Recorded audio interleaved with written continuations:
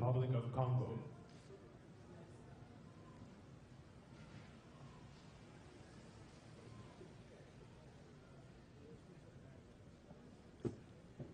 His Excellency Joseph Kabila Kabange, President of the Democratic Republic of the Congo.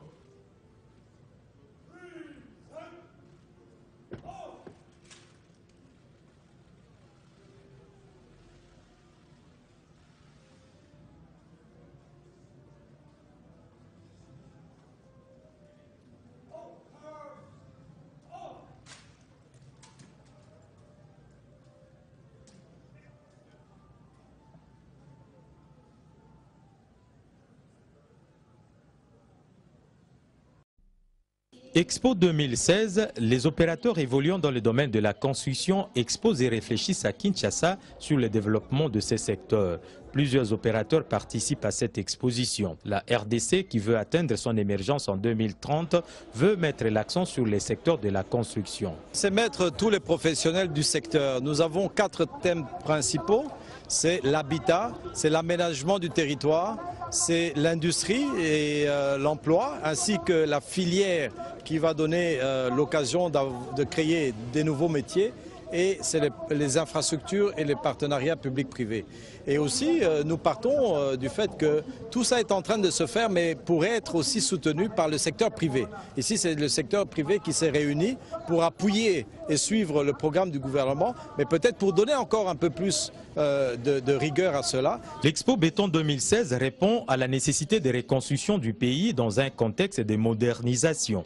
Pourtant, l'insuffisance d'industrie de la filière construction, notamment les cimenteries, est un défi à relever pour atteindre les objectifs fixés. Que ce soit les infrastructures routières, que ce soit même au niveau de l'habitat, le Congo est encore non seulement à peupler, mais à, à construire aussi.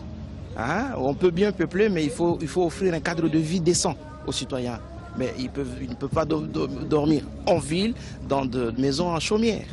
Il faut vraiment, vraiment, il y a un besoin, besoin, besoin criant pour la rénovation, la restauration, un relifting l'urbanisme du, Congo. Selon l'Agence nationale pour la promotion de l'industrie, la RDC a un déficit de plus de 3 900 logements, soit 265 000 logements à construire par an. Un marché florissant pour les opérateurs du secteur qui accourent de partout pour inspecter les terrains. Beaucoup attendent du gouvernement un cadre juridique qui garantit la sécurité de leurs investissements avant de s'engager.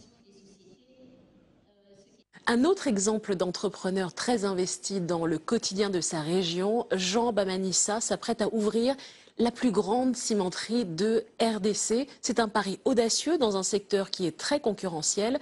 Réussite a suivi les derniers préparatifs. Regardez. Jean Babanissa est un acteur de longue date de l'économie congolaise. Je suis né à Kisangani et j'y ai grandi, j'ai fait mes études là et euh, ensuite je suis venu sur Kinshasa déjà en 85 et j'ai commencé ma vie active en 86-87 quand j'ai créé ma première entreprise. Après avoir investi dans le bâtiment ou le pétrole, l'homme d'affaires congolais se lance un nouveau défi. Mettre sur pied le premier salon consacré à la construction à Kinshasa. Ici, on va laisser cet espace euh, vide, n'est-ce pas? On va mettre la grande tente pour les conférences au fond, dans ce sens. Et puis euh, des petites tentes ici pour euh, les salons des VIP. Hein. Son objectif, réunir en un seul lieu tous les acteurs de la construction du pays. Les architectes, les ingénieurs, les promoteurs les immobiliers, les, promoteurs, les, les bureaux d'études, tout cela auront une demi-journée pour euh, faire connaître un peu ce qui se fait. S'il organise cette exposition, c'est que l'entrepreneur compte bien vendre beaucoup de ciment dans les prochaines années. Car il est en train de construire la plus grosse cimenterie du pays. Une usine taille XXL à 300 millions de dollars. Aujourd'hui, il a rendez-vous sur le site pour une visite de chantier. Tous les matériaux passent par ici. Ils sont pleins de métal qu'il faut éliminer. Donc on les fait passer par un séparateur magnétique qui va nous permettre de récupérer ce métal. Pour construire cette usine, Jean Babanissa s'est associé à des Africains, la firme PPC, spécialiste de la fabrication de ciment en Afrique du Sud. Dans cet entrepôt, il y aura 10 000 tonnes de charbon, 2 000 tonnes de latérite, 2 000 tonnes de sable et 2 000 tonnes d'argile. La latérite, le sable et l'argile passeront par ce tapis roulant. Le charbon, lui, alimentera ce bâtiment. Au total, 16 000 tonnes de matières premières seront stockées ici. De quoi produire 3600 tonnes de ciment par jour. Car cette usine tournera 24 heures sur 24 et 7 jours sur 7. Pour le chef d'entreprise, à quelques mois de l'ouverture, l'enjeu est grand. Il faut que ça puisse tourner, il faut que nous puissions vendre beaucoup parce que nous devons euh, tenir nos engagements envers nos partenaires financiers. Parce que mobiliser autant d'argent en cette période euh, au Congo, ce n'est pas évident.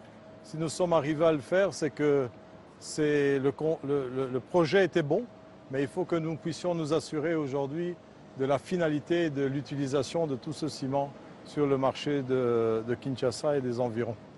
Lorsqu'elle sera opérationnelle, l'usine produira 50 000 sacs de ciment par an. Un pari risqué, alors pour écouler sa production, Jean Bamanissa compte jouer sur le prix. Il veut être moins cher que le ciment importé. Pour cela, il a un atout. Il se trouve juste à côté de l'usine.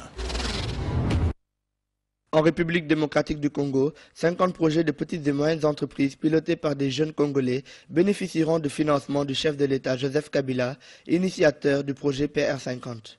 Il s'agit d'une des initiatives qui vise à favoriser l'émergence véritable de la classe moyenne dans le pays. Un concours de collecte des projets a été lancé à travers la Fédération nationale des jeunes entrepreneurs du Congo ce samedi 4 juin 2016 à Kinshasa. Ce partenariat qui a été tissé depuis neuf mois entre la Fédération nationale des jeunes entrepreneurs et le président de la République. Eux apportent leurs idées, ils promettent de transformer ces idées en projets et le président de la République promet de, pouvoir financer les projets euh, les plus bancables de manière à ce que par étape et sur toute l'étendue du territoire national, de fil en aiguille qu'on arrive demain à une véritable classe moyenne dans ce pays. En République démocratique du Congo, comme dans plusieurs pays d'Afrique, les projets ne bénéficient pas toujours de financement des banques et institutions financières.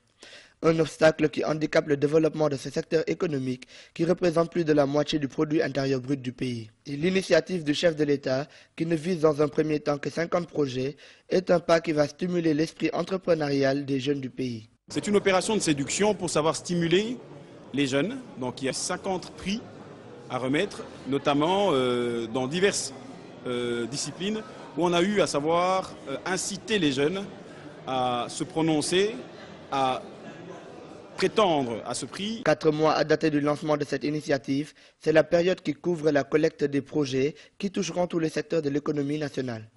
Mais pour les observateurs, l'on devrait accorder plus d'attention aux projets agricoles qui présentent plus de chances de succès dans un pays où 120 millions d'hectares de terres arables sont disponibles.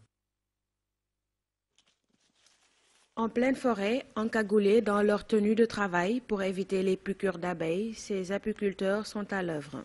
Le maître des lieux, Laonel Mosumboko, ancien fonctionnaire de l'État, a réalisé son rêve, installer sa propre entreprise. Traditionnellement, un apiculteur détruit la colonie et attend que la ruche soit recolonisée, un processus qui dure plusieurs jours. Selon Masumboko, il y a beaucoup à faire pour former les apiculteurs au Congo. Il espère intégrer un jour les techniques modernes dans l'exercice de cette activité. Nous sommes heurtés à la tradition. Les gens sont habitués à tuer les abeilles, à faire la chasse au miel. Maintenant, il est Question d'abord de pouvoir les convertir d'apiculteurs cueilleurs de miel en apiculteurs professionnels. Mais c'est tout un, long chemin. La grande difficulté que nous avons donc, c'est au niveau des compétences. Le gouvernement doit aujourd'hui donner un coup de main aux apiculteurs qui travaillent avec difficulté car les moyens ne suivent pas. Le monde de l'apiculture que nous sommes en train de pratiquer, il est artisanal. Donc il y a possibilité d'améliorer les conditions d'élevage. Il s'est fait que la population qui fait cette activité est d'abord pauvre. Il n'a pas de moyens. Si le gouvernement pouvait disponibiliser ou appuyer d'abord ces éleveurs, ça pourrait être une bonne chose. En République démocratique du Congo, il existe un réel potentiel dans l'apiculture. Le gouvernement pourrait compter sur ce secteur pour promouvoir l'entrepreneuriat des jeunes et lutter ainsi contre le chômage. À ce jour, une partie du miel produit en RDC est exportée The Pentecostal Church of Bangimbo presents four prophetic days from the 27th to the 30th of October 2016. Thursday to Saturday from 6 p.m. to 9:30 p.m. Sunday from 9:30 a.m. to 12:30 p.m. Host Reverend Ogi Bona. Je viens dire à quelqu'un, quand le monde ténébreux réclame, nous avons un avocat auprès du Père. Lui aussi est en train de réclamer. Réclamation contre réclamation. Le serpent de Moïse contre le serpent de Pharaon. Imagine la suite.